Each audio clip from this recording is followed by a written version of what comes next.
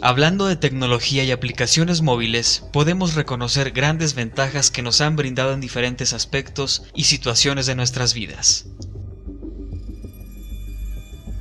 En este contexto, las aplicaciones para ligar no tardaron en aparecer. Las apps para ligar nos dan la gran virtud de que con un solo clic y a través de nuestro smartphone empecemos a conocer personas y probablemente una posible pareja sentimental. Pero ¿realmente las cosas son así? ¿Qué riesgos existen a la hora de conectarse a una de estas apps? ¿Se puede encontrar el amor verdaderamente?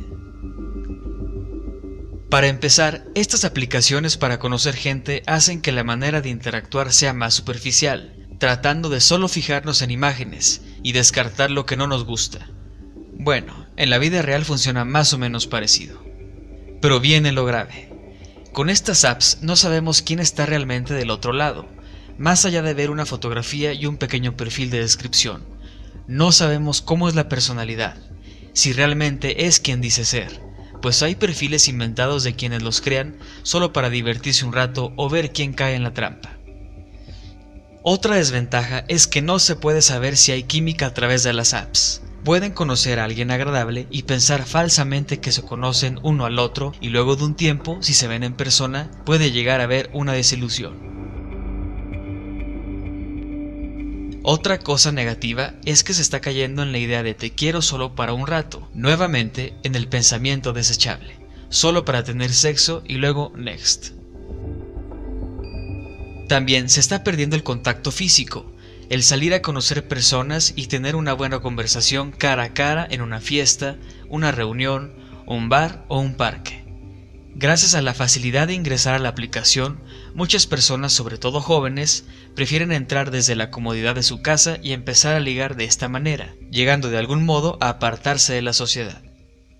Otro aspecto es el peligro de encontrarse con una persona malintencionada, el riesgo de un robo, abuso o secuestro, sobre todo en menores de edad o mujeres, que en muchos casos han confiado, han sido engañadas, chantajeadas y extorsionadas o hasta asesinadas.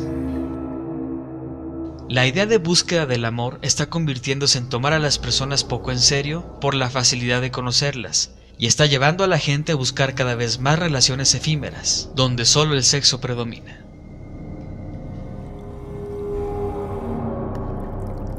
Al final lo que todos o la mayoría en el fondo busca en la vida es el amor, dejar la soledad, pero se está dejando el sentimiento a un lado, con un pensamiento frío que al final puede dejar a las personas más vacías de lo que ya se encontraban, creando daños psicológicos como ansiedad, angustia y depresión.